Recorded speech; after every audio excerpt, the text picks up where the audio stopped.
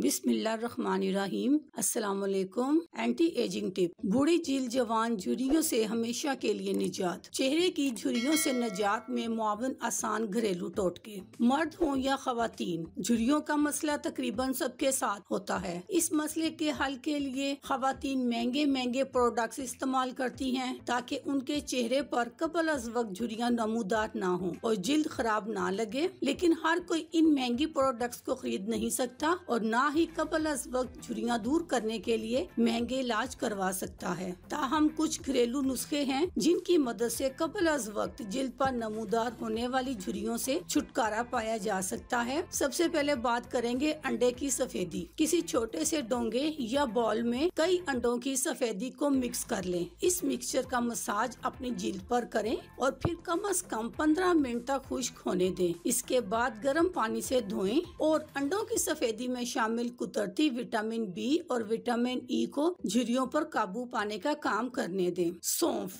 झुरियाँ खत्म करने के लिए एक पैन में पानी गर्म करें और इसमें एक मुट्ठी सौंफ शामिल करके इस पानी को खूब जोश दें, यानी इसको अच्छी तरह उबाल लें। जब भी आप सुबह सो के उठे तो अपना चेहरा इस सौंफ के पानी से धो लें। इस पानी को उन जगहों पर ज़्यादा लगाएँ जहाँ झुरियाँ मौजूद हैं। इस सौंफ के पानी के ज़रिए आपकी झुरियाँ यकीनी तौर पर खत्म हो जाएँगी और आपकी जिल्द नरम और मुलायम हो जाएगी। जैतून का तेल। कुदरती जैतून का तेल आपकी जिल्द को मुलायम और लचकदार रखने में मददगार साबित होता है। अपने चेहरे पर सोने से कबल जैतून के तेल के चंद कतरों का मिसाज करें और नरम तौलिए से साफ़ कर दें। जब सुबह आप सोकर उठेंगे तो जिल्द नरम और सेहतमंद नज़र आएगी। लीमू का अर्क। एक लीम के टुकड़े करें और इसके अर्क का मसाज चेहरे पर मौजूद झुरियों पर करें। लीम में मौजूद तेजाबियत जल्द को रोशन करने में मददगार साबित होती है, जबकि झुरियों का नुमाया होना कम हो जाता है। अल्लाह हाफिज।